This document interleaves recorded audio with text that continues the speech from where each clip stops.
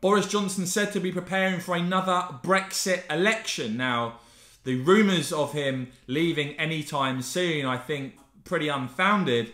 Uh, reports are colleagues of the Prime Minister think uh, that he wants to be PM for longer than Margaret Thatcher, potentially looking at another decade in power, potentially.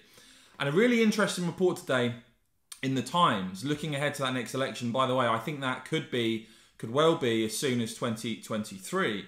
Uh, with the Times reporting that Johnson, that Boris Johnson will frame the next election around Brexit, warning that, that Britain would slump back to following EU laws and regulations under Labour. In an interview uh, held back in May for Broken Heartlands, a book by the journalist Sebastian Payne, talked about the benefits of Brexit and the dangers of a Labour government, pointing out that free ports, the vaccine scheme, and scuppering plans for the European Super League all benefits of Brexit. Quote is saying, I do think the risk is if we were to be stopped, if the Conservatives were to be pushed out, the whole thing will slump back. We're back into half of the things of the European Union before we could say it. In the interview, Boris Johnson also talking about uh, levelling up across the country and describing reliance on London and the southeast of England for the bulk of economic growth and prosperity in recent years as stupid, talking about giving priority to investment in the North and the Midlands. Now, of course, this comes as we just saw this week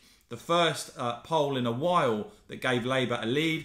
Also, a poll out of 10,000 Brits carried out by Electoral Calculus and find out now on Monday, Tuesday, and Wednesday this week, finding the Tories' support down eight points from 2019 and that they would currently be below winning a majority. But yeah, interesting to see that the potential framing for the next election already being looked at.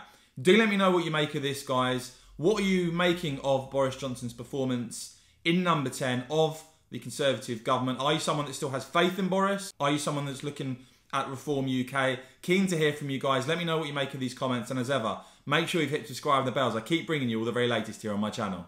Thanks for watching.